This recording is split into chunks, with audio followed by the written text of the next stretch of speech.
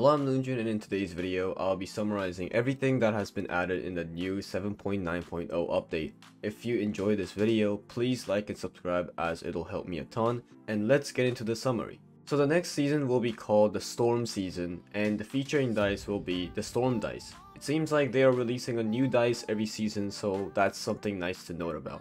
Anyway, the season dice for Storm Season will be Recharge and Summoner.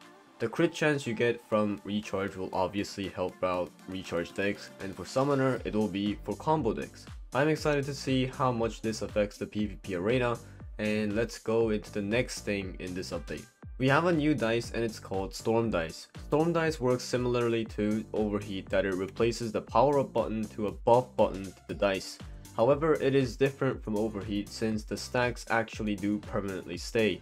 This means as long as you have SP, you will permanently do even more damage likewise the recharge dice. If you press the power up button, it will spawn a small cloud that will spawn on top of the frontmost mob and it will gradually move towards the mob spawning gate, inflicting damage towards the mobs. The cloud itself will slowly grow in size and it will deal damage more quickly as it goes.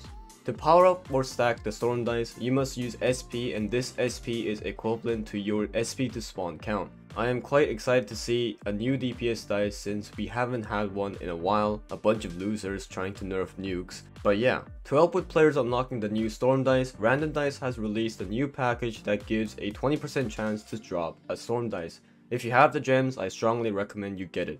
The old Dice Tower game mode has returned and this time there are a few adjustments. First of all, they made a new stage by adding Endless mode to the event. Upon reaching floor 10 of Dice Tower, you can play Endless mode with the same deck you finish floor 10. However, you will not get any additional SP from the mobs during Endless mode. I don't think this is a huge deal, I mean, they give out okay rewards, but once again, it's a leaderboard system so I probably won't bother too much with it.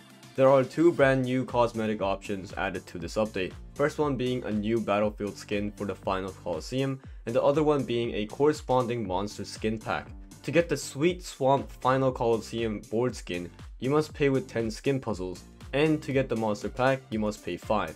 I honestly like how they are adding new cosmetic options for this game, because I truly think that it lacked a lot of skins and customization, but I dislike how hard it is to get skin puzzles. There is a new adjustment for DICE Academy and they changed some of the difficulty for star point missions in some stages.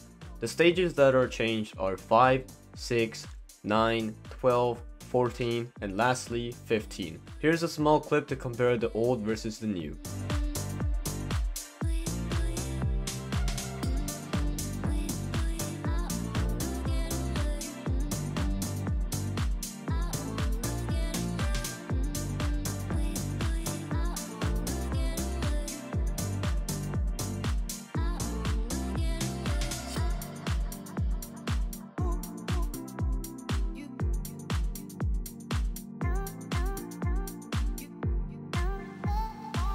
Thank you so much for watching this video. I will now work on the new Storm Dice video, so I'll see you guys then. Have a wonderful day.